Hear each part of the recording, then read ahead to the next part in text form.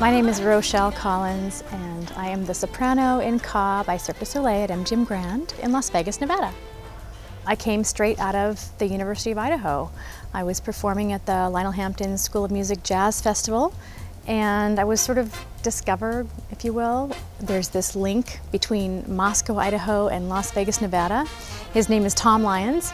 He is also an alum of U of I and a working musician here in Vegas.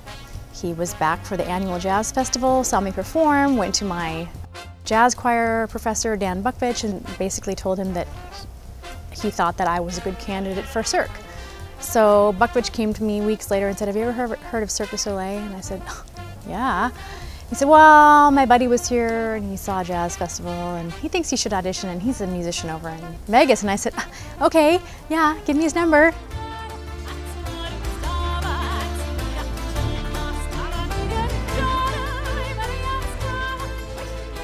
The Lionel Hampton School of Music Jazz Festival, it's this collaboration, it's this coming together of artists from so many different places in such, you know, an unexpected place.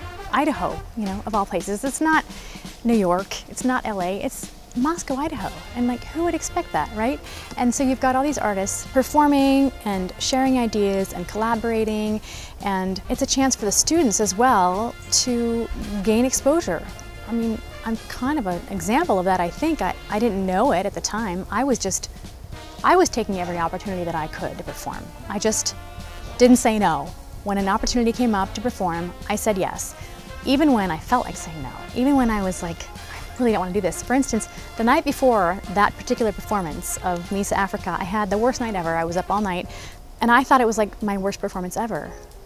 And here I am because of that performance. And so it's sort of you never know who's listening, and you never know who you're going to affect or have an impact on.